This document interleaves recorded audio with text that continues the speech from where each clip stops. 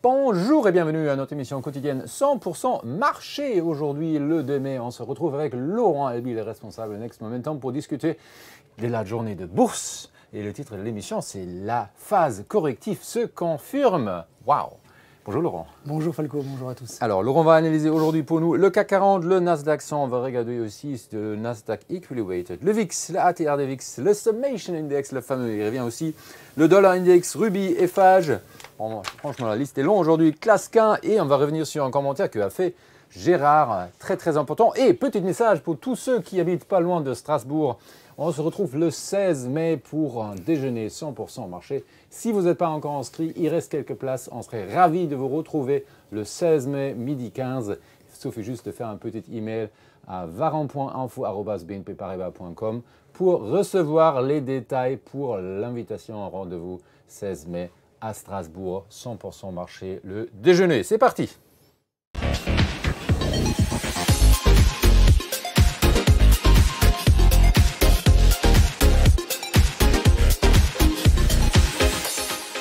Alors, mon cher Laurent, qu'est-ce qu'ils ont fait les marchés aujourd'hui? On regarde tout de suite le CAC. Net baisse de 1,45% à 7383,20 points. Il a fini. Le DAX, moins 1,23, un peu plus fort si vous voulez. Le S&P 500 et le Nasdaq sont tous les deux en baisse à la mi-séance. L'euro-dollar, petite hausse très timide. L'or, plus 1,56%. Les Brent qui perdent carrément plus de 4% aujourd'hui. Waouh, c'est incroyable. Alors, on va parler maintenant, mon cher Laurent, de ce CAC 40. En fait, aujourd'hui, qui, euh, voilà, où des risques euh, apparus, euh, ça se confirme. Ce matin, tu as déjà parlé de ce fameux rectangle sur le S&P 500 et, et maintenant, tu, as, tu as bien vu en fait. Donc, ça baisse en ce moment. Pourquoi ça? Alors effectivement, on est dans une phase corrective qui, comme le titre de l'émission l'indique, semble se, se, confirmer. On a eu, regarde, dans la séance de vendredi, une bougie qui semblait nous signaler le retour des acheteurs. Hein. Hmm. Tu le vois sur ce niveau à 7400 points. Oui. Euh, on a eu euh, du travail qui a été effectué à proximité donc, euh, de ce gap haussier qui est resté d'ailleurs ouvert depuis le 11 avril. Et ça, c'était un facteur plutôt positif. Oui. Mais comme je le répète souvent, et tu le sais très bien, oui. quand on a un signal donné par une bougie... Il faut le toujours la confirmation le lendemain. Falco, c'est mon meilleur élève. ah, bah, ça, bon, franchement, tu sais, bientôt, ça fait 5 ans, on est à presque 2000 euh, émissions. Hein. Incroyable. Incroyable. on continue. Le CAC 40, pardon. Donc, on a eu un signal sympathique euh, hmm. vendredi, mais il faut toujours attendre la confirmation euh, lorsqu'on a effectivement euh, des acheteurs qui semblent revenir, en l'occurrence ici euh, sur le CAC 40, et eh bien cette confirmation n'est pas arrivée aujourd'hui, puisque comme vous l'avez vu euh, dans le tableau lu par Falco, on a eu une baisse aujourd'hui de 1,4% à la bourse de Paris. Néanmoins, techniquement parlant, rien n'a été franchi, bah rien n'a été cassé, hein. rien n'est cassé, puisque on voit bien que cette zone de support à 7344 points pour le moment, elle est intacte. Donc, ça nous ramène comme d'habitude, à ce qui va se passer à Wall Street. Et si on a ce soir à la clôture des indices américains qui arrivent à se ressaisir, hmm. alors peut-être que Avec force. on va avoir une continuation de cette séquence de consolidation sur le CAC 40. Si en revanche les indices US terminent faibles comme ils le sont actuellement, alors le risque c'est de voir effectivement le CAC 40 continuer euh, sa phase corrective demain, peut-être même gaper sous euh, le gap haussier que vous voyez ici et continuer donc euh, sa trajectoire vers les 7300 points et peut-être même les 7200 points. Donc on est dans un contexte qui est fragile, qui est vulnérable. On a eu aujourd'hui les chiffres de l'inflation, on en a parlé très vite ce mhm. matin, je disais qu'ils allaient être publiés dans la matinée. Ces chiffres de l'inflation ont été plutôt positifs et bien accueillis puisqu'ils montrent que l'inflation se tasse en zone euro. Néanmoins, on a eu une nouvelle moins réjouissante, celle de l'activité économique via les PMI manufacturiers qui, eux, se tassent et n'ont jamais été aussi faibles depuis trois ans.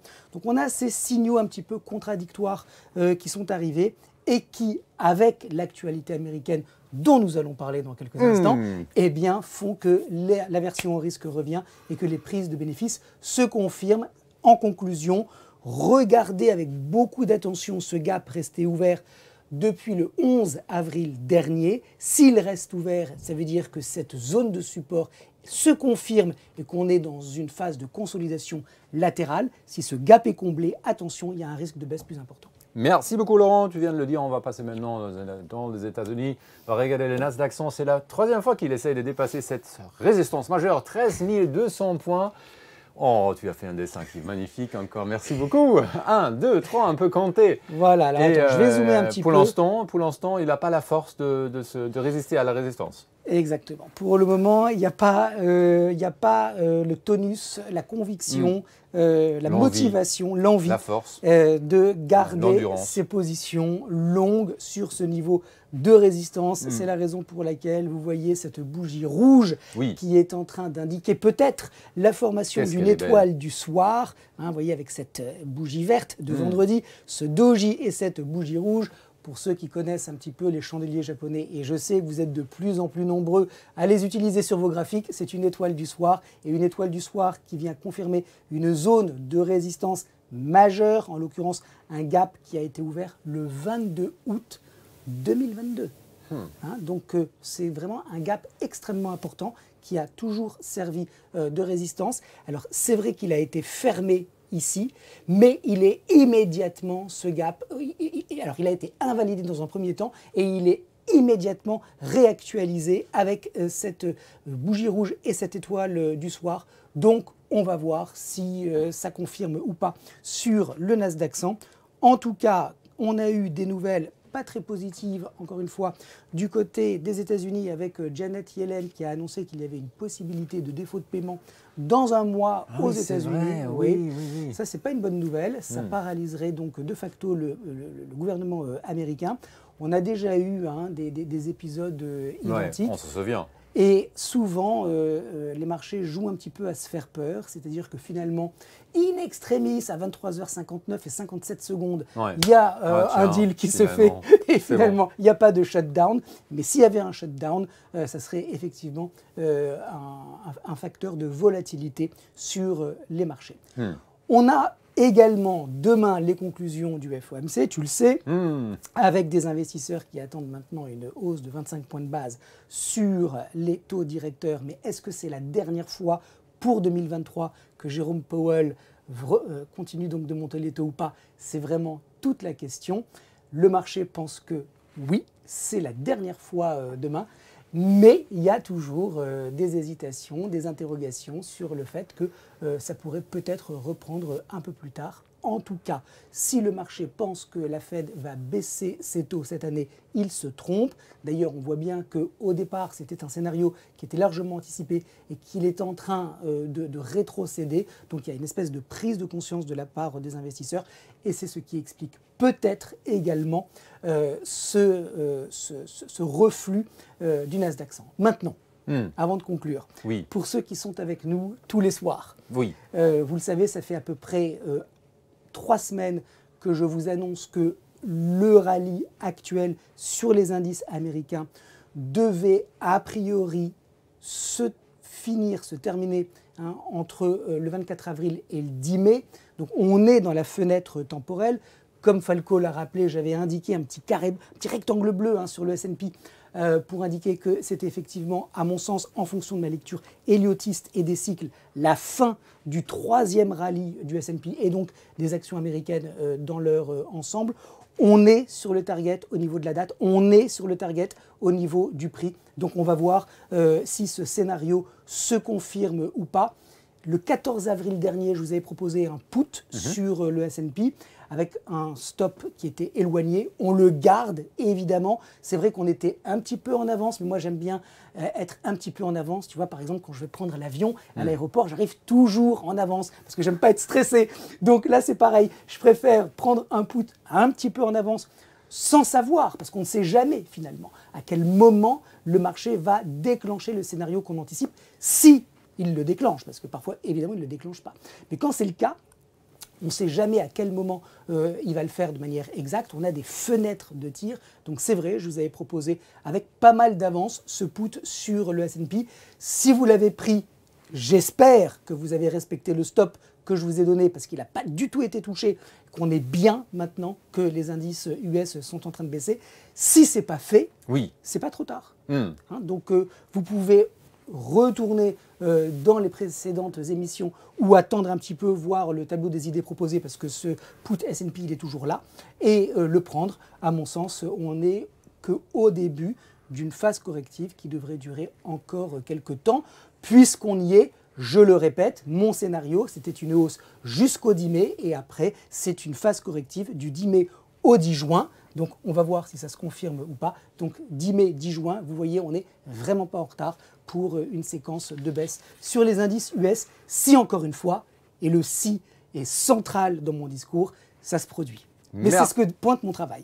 Merci Laurent. Alors donc on a vu le, Nasdaq, il a buté là pour la troisième fois. Ouais. Euh, tu veux approfondir un peu ton analyse en fait parce que tu. Parce qu'on pourrait se dire peut-être que. Peut-être il y a encore une chance. Bah, bah, parce que, les mèches, comme on en a vu sur le S&P euh, hier, ça mhm. pourrait aussi théoriquement se produire dans la deuxième euh, partie de la journée dans le marché américain. Du coup, Words of Wisdom. Voilà. Falco. Non, mais c'est jamais. Hein. Bah absolument. tu as, tout raison. Donc, euh, tu as tout à fait raison. Tu, Donc, est-ce que je pense que cette, la question que me pose Falco entre lignes, c'est est-ce que je pense que le Nasdaq 100, d'après moi, va réussir, in fine, dans l'immédiat, à dépasser ce niveau de résistance Comme tu dirais. Et la réponse est non. Ah, et pourquoi ça alors Il ne va pas y arriver, ou il ne devrait pas y arriver. Et je vais vous expliquer pourquoi je pense qu'il ne devrait pas arriver. Non pas que je pense qu'il ne va pas y arriver, mais, pourquoi je pense qu'il ne devrait pas ah. y arriver. Il y a une nuance, hein, parce qu'avec le marché, il faut toujours rester extrêmement prudent. Hmm. Pourquoi? Vous avez ici deux graphiques. En haut, c'est le Nasdaq 100 que vous connaissez tous, et en bas, un indice que vous connaissez un peu moins bien, c'est le, le Nasdaq 100 Equally Weighted, hmm. c'est-à-dire le Nasdaq 100 équipondéré. Ça veut dire concrètement que dans ce Nasdaq 100 équipondéré, comme son nom l'indique, chaque action, chacune des 100 actions du Nasdaq 100 représente donc un centième de l'indice. Contrairement au Nasdaq 100 où euh, Apple euh, et Microsoft représentent euh, environ, si je ne m'abuse, 13% de l'indice. Donc on revient dans une construction d'une manière, d'une certaine manière beaucoup plus démocratique, mhm. puisque là, chaque action pèse le même poids. Et là où c'est intéressant, c'est que quand on regarde le NDX en haut, mhm. qu'est-ce qu'on voit? On voit une consolidation, ou pour certains une tendance. Moi, j'ai plutôt envie de l'appeler une consolidation, mais en tout cas, on voit un mouvement qui est haussier, mhm. que j'ai représenté par ces sommets qui sont ascendants. Et lorsqu'on voit le Nasdaq 100 équipondéré, le tableau est complètement différent. Hmm. On voit qu'il y a beaucoup moins de force. Ça veut dire qu'il y a des mastodontes qui ont la puissance nécessaire pour tracter à la hausse l'ensemble de l'indice. C'est qui? Les GAFAM, Apple, Microsoft, Google, Facebook, etc. Quand on remet tout le monde à égalité, ben, on voit que la puissance, elle n'est pas du tout la même. On voit qu'il y a une divergence baissière entre le Nasdaq Equally Weighted mhm. et le Nasdaq 100. Plus intéressant encore, regardez ce qui se passe depuis le mois d'avril. Depuis le mois d'avril, on a le Nasdaq 100 qui a été donc aidé par les relativement bons résultats d'entreprise des GAFAM, qui a même fait, qui s'est même payé le luxe de dépasser les 13 200 points. On le voit ici en ligne de clôture. Donc on a ici un indice qui est en consolidation avec même une tentative de dépassement. Mhm. Regarde en bas, on n'a pas du tout le même tableau. On a vraiment beaucoup de faiblesses. Donc quand j'ai une divergence du Nasdaq, du Nasdaq 100 équipondéré avec le Nasdaq 100. Ça veut dire quoi? Ça veut dire que les généraux, c'est-à-dire les Apple, les Google, les Microsoft, eux, ils pointent vers le nord. Sauf que les troupes derrière, elles font pas le boulot et elles ont du mal à suivre.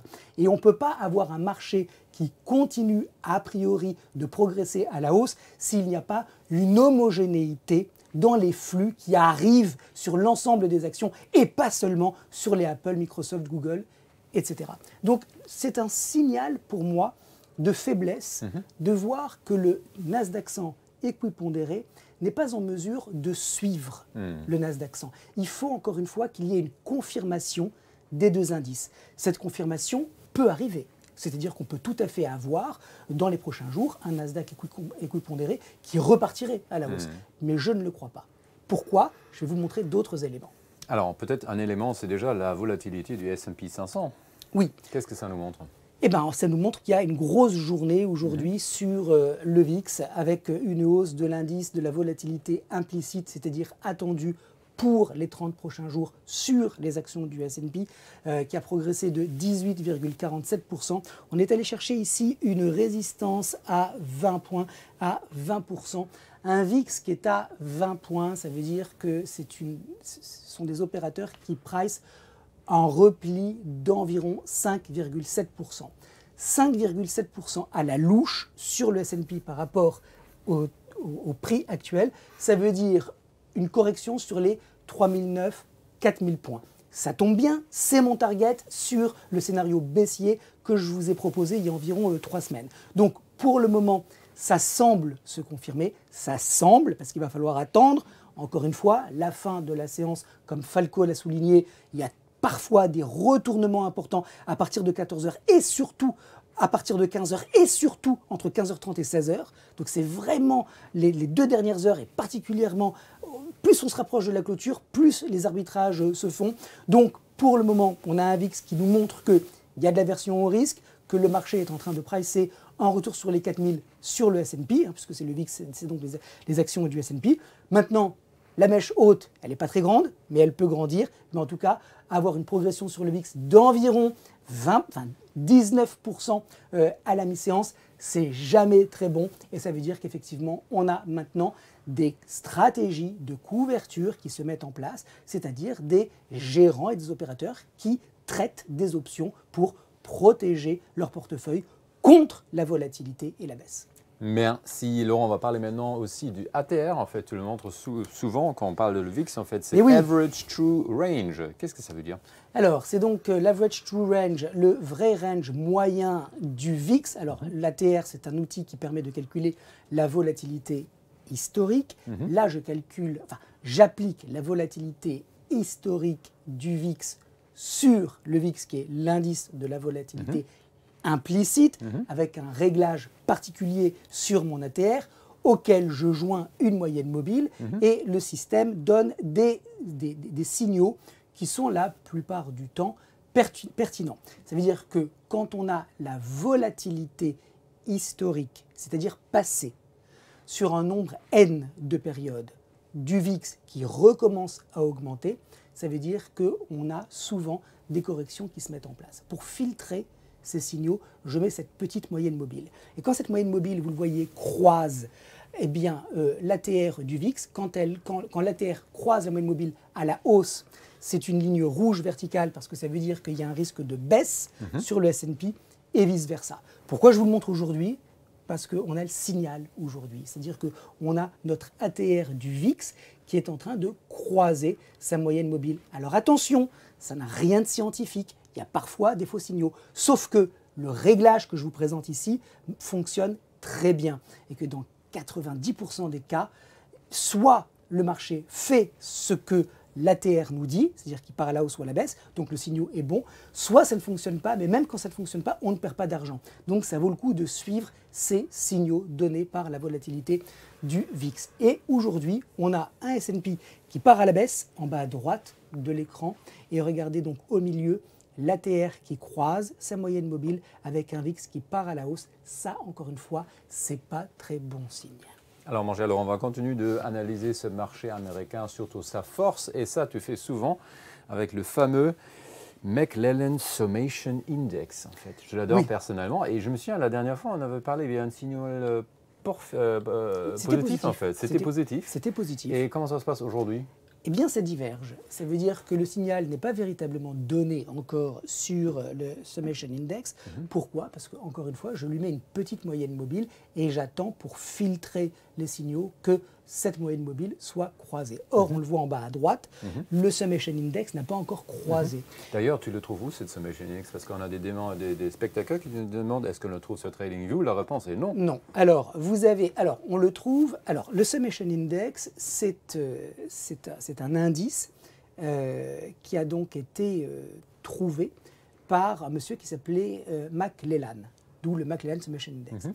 Et ce Summation Index n'est pas gratuit sur les plateformes de trading et d'analyse mhm. technique. Par exemple, sur TradingView, qui apparemment ne veut pas payer, il n'y a pas le Summation mhm. Index.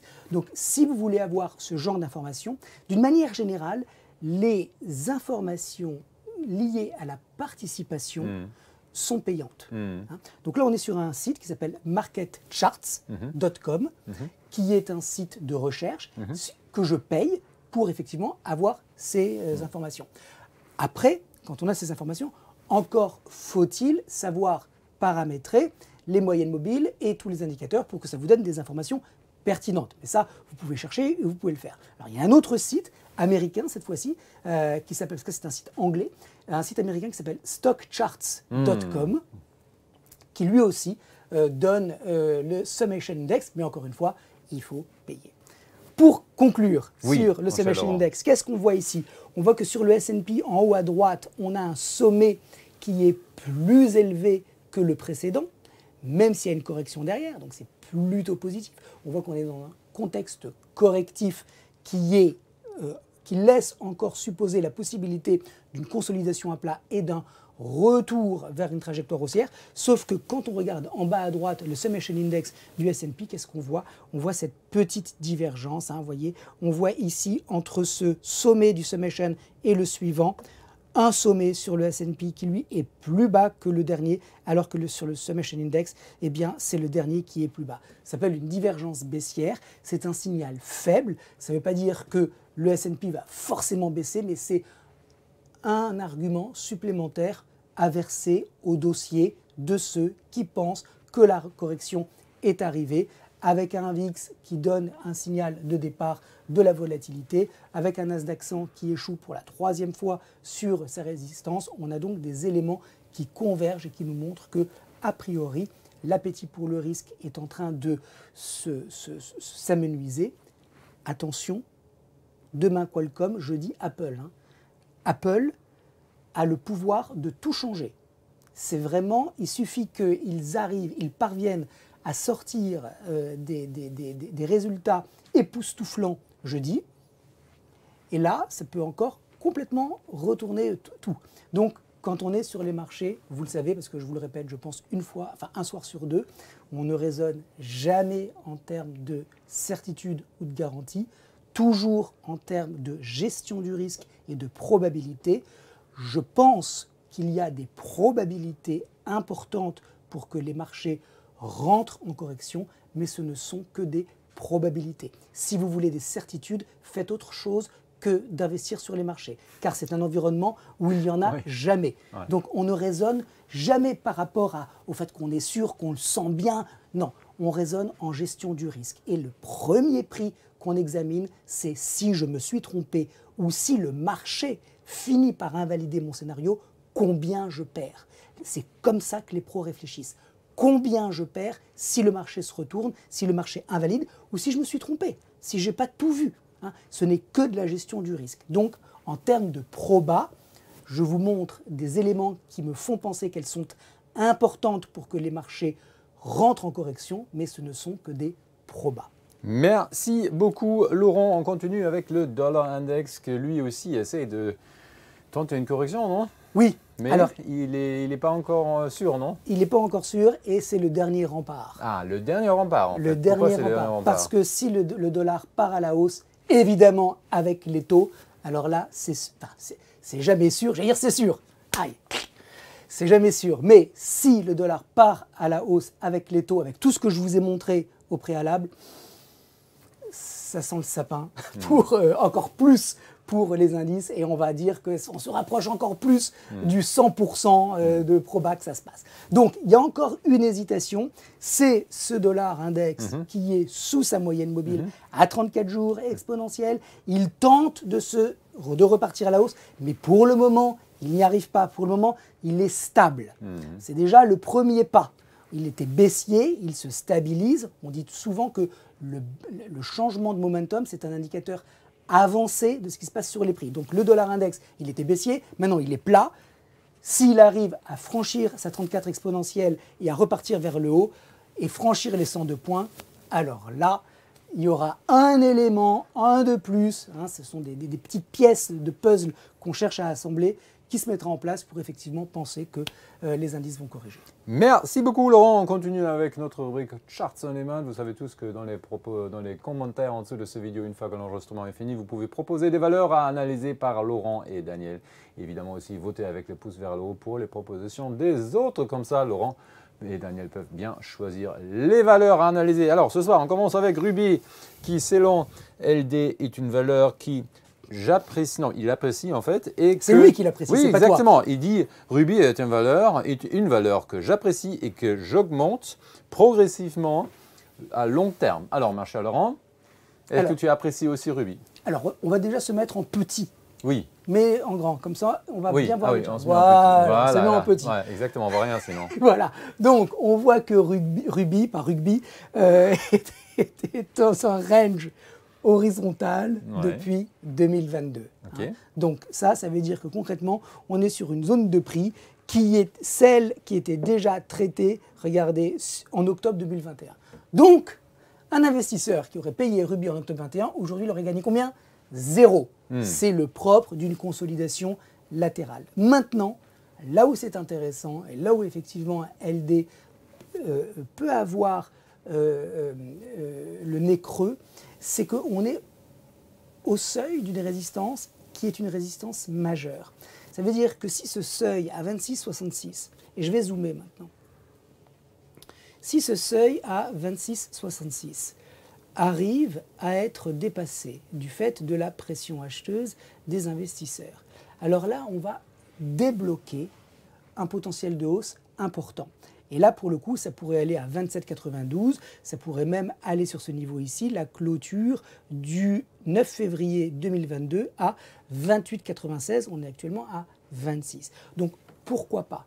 Maintenant, vous pouvez soit attendre d'avoir ce franchissement de résistance, c'est-à-dire que vous êtes plutôt ce qu'on appelle un momentum player, vous aimez avoir la confirmation par le marché avant de rentrer en position, ou bien ce que vous préférez, c'est payer sur repli, alors c'est toujours beaucoup plus intéressant de, payer pas cher. Sauf que ça peut baisser beaucoup plus. Hmm. C'est pour ça qu'il y a des personnes qui préfèrent avoir la confirmation par le marché au risque d'avoir un prix de revient moins optimisé et d'autres qui aiment bien les replis. En ce qui me concerne, j'aime bien les replis dans les tendances haussières. Mais quand on est dans un range latéral de plusieurs mois, voire de plusieurs années, et qu'on est sous une résistance majeure, et que pour le moment, elle semble tenir le coup, et que par ailleurs, il y a un risque de voir les marchés en général rentrer en conso, je ne me précipiterai pas pour payer sous la résistance.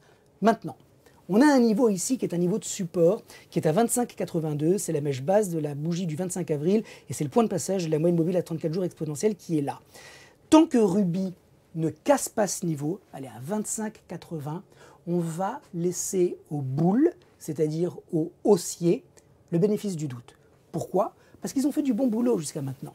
Les, cours étaient sur 23,44. Ils ont réussi à les ramener sur la résistance à 26,66. Donc, on va a priori penser qu'ils vont être capables de continuer le travail. D'autant plus que ce n'est pas moi qui le dis, c'est l'analyse technique. L'analyse technique, elle nous dit que quand on a une tendance, en l'occurrence une tendance de court terme ici, tant qu'elle n'a pas été invalidée de manière factuelle, on se doit, dans l'analyse, de suivre la tendance. Ça veut dire que tant que ce niveau à 25,80 n'est pas enfoncé, je suis obligé en tant qu'analyste technique de respecter le mouvement du marché et de dire qu'au-dessus de 25,80, je suis haussier neutre. Je suis haussier neutre, je suis haussier parce que ça monte depuis le 27 mars, mais je suis neutre parce que je vois bien que pour le moment, il y a un retour à l'équilibre dans le rapport de force acheteur-vendeur. Mais ce rapport de force équilibré, tant que les 25-80 sont préservés, on va dire que c'est haussier neutre, c'est-à-dire que c'est juste les acheteurs qui pour le moment lèvent le pied, mais il n'y a pas de pression vendeuse. En revanche, si les 25-80 sont enfoncés, alors là, ça veut dire qu'il y a un risque, toujours la même chose, de repartir à la baisse et pourquoi pas d'aller rejoindre les 24, voire les 23-44. Donc, en conclusion, Ruby sur une zone de résistance majeure à 26,66. Attendons de voir le franchissement de le niveau pour voir si vraiment ça part à la hausse. Si les 25,80 sont préservés, on attend avec un biais haussier. Si les 25,80 sont enfoncés, on part. Merci beaucoup Laurent, on va passer maintenant, et merci elle d'avoir proposé Ruby. On continue avec euh, Michael qui dit « Je propose une analyse de Eiffage qui s'approche d'un gap ouvert du 24 février 2020. Horizon moyen-long terme, Eiffage est en canal haussier depuis juin 2020. Mon cher Laurent, qu'est-ce que tu penses de cette analyse de Michael? Full screen. Full screen. Full screen, voilà. Comme ça, on voit le canal haussier dont il nous parle depuis 2020. Et il est où cette, euh, cette, cette, cette euh, qu'est-ce qu'il y a gap ouvert le 24 février? Ah, on le voit pas. On le voit pas. Parce que c'est un gap en données quotidiennes. Ah, alors que là, on est en données ah, hebdomadaires. Parce que ce qu'il nous dit, Michael, c'est qu'il est intéressé par une temporalité de moyen-long terme. Et il nous dit qu'il y a un canal depuis 2020. Hmm. Donc il a raison, c'est vrai, le canal, il existe, il est là, je l'ai tracé, il est très facile à identifier. Hmm. Donc, a priori, encore une fois, on est dans un mouvement haussier depuis 2020, on est dans un mouvement haussier depuis octobre 2022, on est dans un mouvement haussier depuis mars 2023. Donc sur toutes les temporalités, Eiffage et haussière, je suis donc positif. Dans ce contexte, on a ici une petite zone de polarité à 103,20. Tant qu'elle n'est pas enfoncée, c'est toujours le même raisonnement que je répète tous les soirs. Tant que ce niveau n'est pas enfoncé, je reste positif. Pourquoi? Parce que c'est un niveau d'achat. Si effectivement il y a une correction qui est finalement beaucoup moins importante qu'attendue sur les indices et que ça repartait à la hausse et que finalement Eiffage revenait sur les 103,20 et que ce niveau était considéré comme une opportunité d'accompagner le mouvement haussier sur le titre, alors qu'est-ce qu'on va voir? Des acheteurs. Et donc cette polarité fonctionnera et donc c'est un niveau d'achat pour viser 111,75. Si en revanche la polarité ne fonctionne pas, ça veut dire que la demande, il y en a, mais il offre, il y en a beaucoup plus. Et donc pour satisfaire cette offre, il va falloir taper plus bas pour retrouver des acheteurs. Alors dans ce cas-là, le risque, c'est de retourner sur 96 38 Falco. Et dans ce cas-là, il y a un risque baissier important puisqu'on est à 104,96. Ça fait donc un bon 6% de baisse sur FH. En données hebdomadaires, c'est pas choquant. Hein. C'est une correction euh, vraiment euh, normale, on va dire, même pas très importante. D'autant plus que regardez ici, sur les 96,38, on a un autre niveau de polarité qui pourrait être le vrai niveau de polarité si les 103,20 étaient enfoncés pour retrouver un courant acheteur. Merci beaucoup Laurent et merci beaucoup Michael d'avoir proposé. Proposé, proposé, proposé. FRH, on continue maintenant avec euh, Michel qui dit Je vous propose Clasquin qui construit un canal haussier depuis octobre 2022. Le cours travaille actuellement le plus haut de juin 2022, mon cher Laurent. Alors, sur, euh, sur Clasquin, on est euh, à moyen terme, vous le voyez, dans, dans une phase de consolidation euh, Mhm. latérale. Et à court terme, on est dans une phase haussière. On a eu hier et aujourd'hui une très belle accélération sur Clasquin avec un niveau donc à 70 euros qui a été testé. Il y a une autre zone de résistance très importante qui est ici, vous la voyez, qui date de décembre 2021 et de février 2022, entre 74,60 et 76,40, à moins de voir Clasquin casser le support à 61,40, je reste positif à court terme sur le titre. Il n'y a pas d'indicateur particulier de vulnérabilité. Il y a un RSI qui est super suracheté mais c'est un signal de force. hein. je rappelle que c'est quand le RSI sort de sa zone de surachat, alors que le prix lui continue de monter ou qu'il commence à baisser, qu'il y a un, signe de faiblesse. Mais là, on peut avoir un RSI qui reste en zone de surachat pendant N période. Donc on ne vend jamais un RSI qui est très fort. Et sur lequel, et, lorsqu'il est en plus accompagné par des prix où il y a zéro divergence entre l'indicateur et- et les cours. Donc, positif sur Clasquin, zone de résistance 74, 60, 76, 40, prix euh, optimal d'entrée 63, 80, sauf que peut-être qu'elle ne reviendra jamais Clasquin sur ce niveau à court terme parce que l'accélération est telle que maintenant euh, on va euh, continuer. Mais si ça revenait, il y aurait une question à se poser si on a envie de payer ou pas. Le stop se place sous 61, 40. Merci beaucoup Laurent et merci Michel d'avoir proposé Clasquin. On va passer maintenant à quelque chose un peu d'autre. C'est pas de chat on demande, c'est mes commentaires en demande en fait, si vous voulez. C'est Gérard qui posait une question dans les commentaires. Il a dit euh, quelle est votre opinion sur les interprétations graphiques telles que le tête-épaule inversé ou non, les tasses avec anse. Sur le Nasdaq 100, on peut imaginer en daily une tasse avec anse. Qu'en pensez-vous? Merci pour vos superbes émissions, Union, qui rappellent tous les jours les belles techniques probabilistes et qui ne président jamais l'avenir. Mon cher Laurent, tu as répondu sur YouTube, mais tu as trouvé cette question et la réponse si intéressante que tu te souhaites la lire en direct. Oui. N'oubliez pas les pouces vers le haut et n'oubliez pas de vous abonner à notre chaîne YouTube. Et veux oui, dire. parce Pour aider que- Bob un peu, parce qu'il milite toujours pour nous. Pardon, excuse-moi, je suis parti sur un autre truc. Alors, En fait, Gérard, il pose une question. Oui. Quelle est votre opinion sur les interprétations graphiques Hmm. Qu'est-ce que ça veut dire ça? Gérard, il pose la question que faut-il penser de l'analyse technique? Oui, C'est-à-dire, dans quelle mesure Hmm. la- les formations géométri- géométriques qu'on voit sur euh, les graphiques permettent de comprendre les dynamiques qui sont en cours? C'est une question centrale. Je veux dire, c'est euh, l'objet euh, de, toute ma carrière depuis 20 ans. Essayer de comprendre dans quelle mesure ces formations géométriques et les indicateurs techniques donnent des informations fiables sur lesquelles on peut compter dans une politique de money management qui est toujours euh, bien, bien calibrée. Donc, j'ai pris le temps de répondre à Gérard parce que j'ai trouvé que la question était vraiment pertinente et qu'elle nécessitait de ma part, non pas que j'écrive un roman, Non. mais que je lui fasse quand même un petit paragraphe d'explication sur ce que je pense de la, de la, de, de la crédibilité, de la légitimité, de l'intérêt d'une certaine manière de ces figures euh, chartistes. Et donc je vous, inter- je, vous, je- je vous invite, si vous avez envie de relire calmement ce que je vais vous lire maintenant, c'est disponible hein, puisque c'est dans les commentaires de YouTube. Donc je vais lire ce que j'ai écrit moi-même tout à l'heure euh, à Gérard, qui nous dit donc quelle est votre opinion sur les interprétations graphiques telles que, alors il dit les têtes-épaules inversées, les triangles, etc. Donc je lui ai dit, les figures géométriques chartistes ne sont que le reflet du comportement composite des opérateurs. Le comportement composite, c'est le comportement agrégé de toute la foule qui existe sur le je marché. savais que tu vas dire full, en fait. Ben oui, parce que c'est une foule. Ouais, ouais, c'est ouais. une foule. hein. C'est une masse de personnes Ça, c'est le deuxième mot. dont, dont- Masse. de- dont les intérêts sont divergents. Il y en a qui achètent, il y en a qui vendent, il y en a qui sont convaincus d'une chose. Mm. de- mais ils sont tous ensemble sur une place d'échange organisée où ils font des transactions sans se connaître. Mm. C'est le principe de la bourse. Et donc, le comportement compo- composite des opérateurs, hein, qui est le, et donc les figures chartistes, c'est le reflet du comportement de ces opérateurs. C'est qui ces opérateurs? C'est les investisseurs, d'abord c'est-à-dire ceux qui sont là parce qu'ils croient au projet, parce qu'ils croient, euh, ils ont une conviction forte sur une entreprise, sur un actif. Ensuite, il y a les spéculateurs. Eux, ils ont zéro conviction. Eux, ce qu'ils essayent d'attraper, c'est les écarts. Ils pensent qu'il va y avoir un écart important entre, le jour euh, T et le jour euh, T plus 3. Donc, ce qui les intéresse, c'est pas du tout l'entreprise, c'est pas du tout l'actif, ils s'en fichent. Eux, ce qui les intéresse, c'est l'écart qui va exister et ils vont essayer de profiter, s'ils ne se trompent pas, de cet écart. Ensuite, c'est les professionnels. Les professionnels qui spéculent.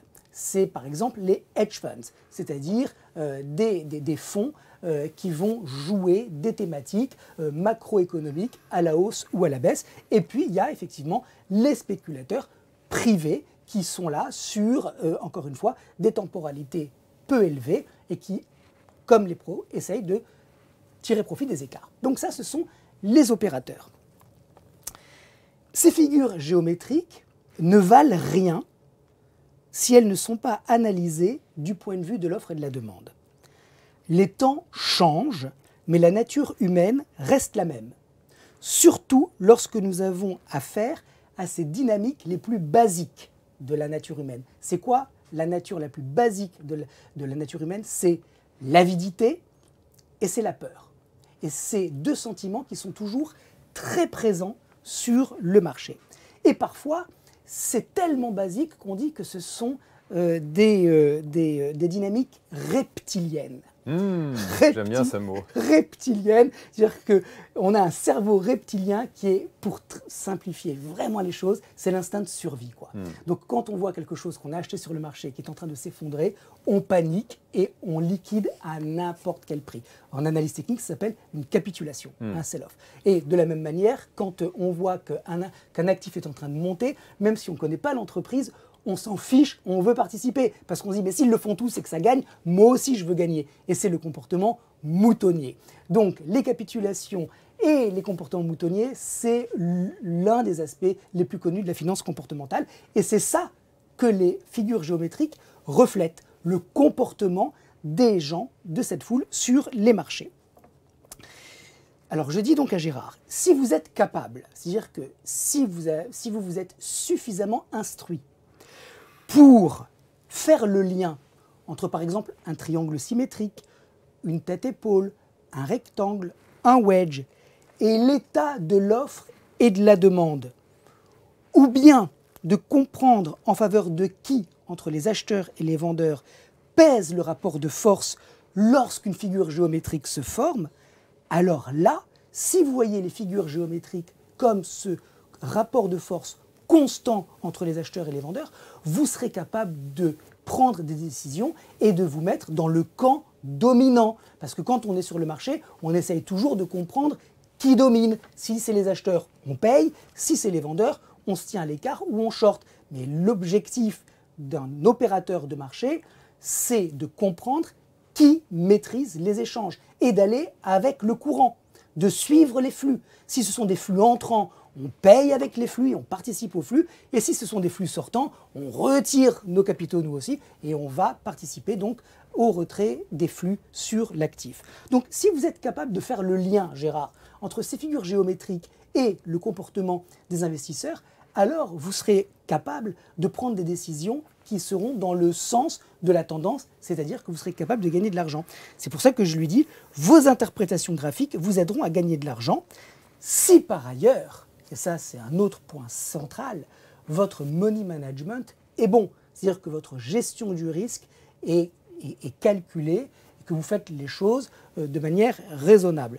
Donc, pour synthétiser, les valeurs graphiques, un triangle, une tête-épaule, ça vaut rien si on ne comprend pas ce qui se passe derrière. Il y a des forces dynamiques sous-jacentes, souterraines, qui poussent les marchés dans un sens ou dans un autre. Il faut essayer de cerner, de comprendre, de sentir, d'analyser, de voir au bout d'un certain temps l'état de ces forces qui poussent dans un sens ou dans l'autre et de se mettre dans le sens où ça pousse le plus fort. Et ça, les figures chartistes, c'est à ça qu'elles nous servent. Merci beaucoup Laurent pour cette réponse à Gérard. On va passer maintenant au rappel des idées. Alors, sur le S&P, donc comme je disais tout à l'heure, je vous l'ai proposé très en avance, mais pour le moment, target à 4000, je garde, je conserve dans notre tableau. Le gold, en revanche, ça se passe moins bien parce que je pensais sincèrement qu'il allait baisser et pour le moment il ne baisse pas trop. Alors j'ai un stock qui est très loin à 2084.